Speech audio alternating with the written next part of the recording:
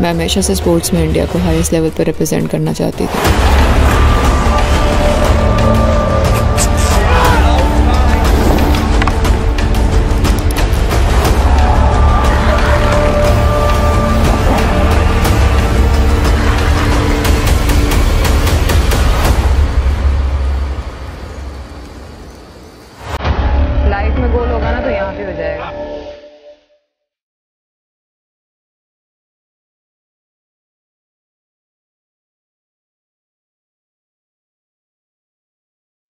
Let's go. that.